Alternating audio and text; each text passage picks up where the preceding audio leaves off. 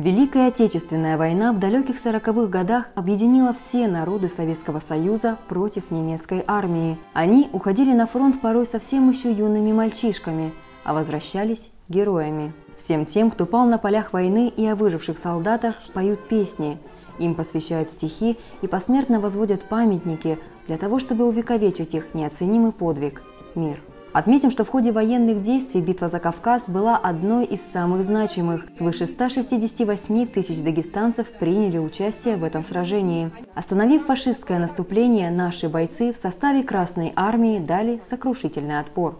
Сегодня, 2 октября, в Каспийске при поддержке Федеральной службы безопасности и Министерства обороны Российской Федерации реализовывалась всероссийская благотворительная программа «Молчаливое эхо войны». По инициативе ВРИУ главы Дагестана Сергея Меликова и при поддержке генерала армии директора ФСБ России Александра Бортникова состоялся митинг, посвященный закладке первого камня в основании памятника защитникам Отечества, труженикам тыла, павшим и пропавшим без вести на фронтах Великой Отечественной войны. Посетили мероприятие люди, достойные самого глубокого уважения – ветераны. Муса Багаудинов, Галина Пономарева, Екатерина Щебетеева, Гусейн Гусейнов и Назир Исмеев.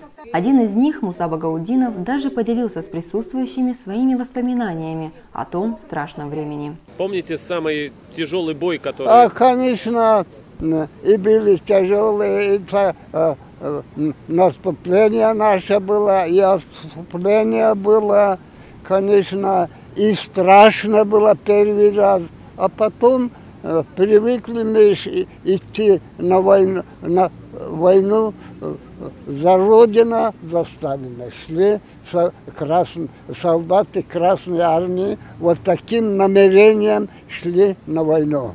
Помните День Победы? Как его встречали? Помню, помню еще как э, сельчане и плакали от радости, понимаете, и танцевали и пели, что только там не делали в конце войны.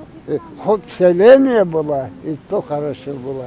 Отдать дань уважения пришли представитель Министерства обороны Российской Федерации, действительный государственный советник второго класса Магомед Хандаев, первый заместитель председателя Совета ветеранов Департамента военной контрразведки ФСБ России генерал-лейтенант Александр Бульбов, представители правительства Республики Дагестан, а также руководители силовых ведомств республики, работники администрации Каспийска, активисты движения «Свеча памяти» и юнармейцы. Сегодня эстафету проекта «Молчаливое эхо войны» принимает героическая дагестанская земля, которая во все времена существования российской государственности доказала свою преданность нашему единству. В далекие годы в царской России представители Дагестана, народов Кавказа честью защищали и храбро защищали нашу э, Россию. Первую мировую войну годы Великой Отечественной войны 200 тысяч почти ушло на фронт и не вернулась половина. Это молчаливое эхо до нас доносится сегодня не только потому, что в мире неспокойно, рвутся снаряды, погибают люди, но и потому, что мы до сих пор продолжаем находить утраченные имена наших героев, находить неврученные им награды и вручать их потомкам.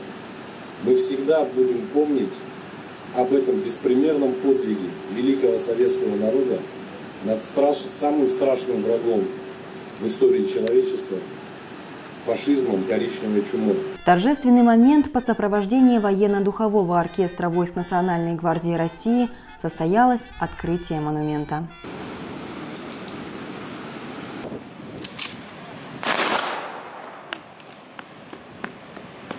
Учащиеся кадетской морской школы-интернат имени Гаджиева выступили со стихотворением, посвященное страшным событиям Великой Отечественной войны. Затем, чтоб этого забыть, не смели поколения. Затем, чтоб нам счастливей быть, а счастье не в забвении. Почти в память погибших героев минуты молчания участники митинга возложили цветы к подножию будущего мемориала, после чего торжественный митинг был объявлен закрытым. Отметим, что Всероссийская благотворительная программа «Молчаливое эхо войны» осуществляет свою деятельность по поддержанию в надлежащем состоянии воинских захоронений, установки стел, памятных знаков, обелисков и памятников 2007 года. За это время мемориалы памяти были установлены во многих регионах нашей страны. В ноябре этого года подобный мемориал появится и в Каспийске.